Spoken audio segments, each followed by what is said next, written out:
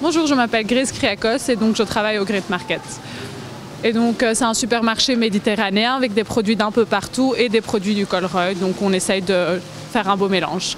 Est-ce que vous avez eu avec ce coronavirus un afflux de clients euh, supplémentaires? Honnêtement, oui. Surtout le vendredi, mais c'est parce que tout le monde a eu, euh, je pense, une montée d'adrénaline et de stress. Du coup, tout le monde s'est rué dans les supermarchés à partir de 9h, donc l'ouverture. Mais là, ça commence à se tempérer et à redescendre. Alors dans certains magasins, on s'est vu qu'ils se sont battus pour du papier toilette. Est-ce que vous, vous avez eu des produits qui ont été plus Le pain, nous, ils ont fait la file pour le pain parce qu'on produit le pain sur place, mais on essaye de faire au mieux.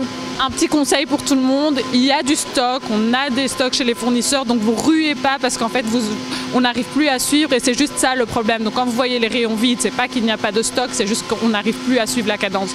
Ne vous inquiétez pas, on gère pour tout le monde, tout le monde va manger, tout le monde va, ça va aller. Par rapport aux restrictions du gouvernement, euh, on pouvait manger chez vous, vous avez toujours le service traiteur. Oui, c'est ça. Euh, on peut prendre le service traiteur à emporter, mais par contre, on, peut- on ne peut plus consommer sur place. Je pense que c'est mieux et c'est pour la sécurité de tout le monde, donc on comprend. Pour euh, les employés, vous avez pris des mesures aussi importantes? Oui, donc il faut aussi euh, se désinfecter les mains toutes les, toutes les 30 minutes, des gants partout, donc tous les employés ont des gants constamment, et essayer de rester le plus loin possible euh, des clients. Donc on rappelle, vous êtes ouvert euh, tous les jours? Sauf le mercredi, mais je pense qu'on va commencer à ouvrir le mercredi avec euh, l'afflux euh, de monde, si c'est autorisé.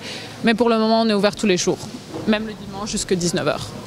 Plein de choses, mais sans surprise. faut rester connecté sur les réseaux pour tout ça. Merci à vous.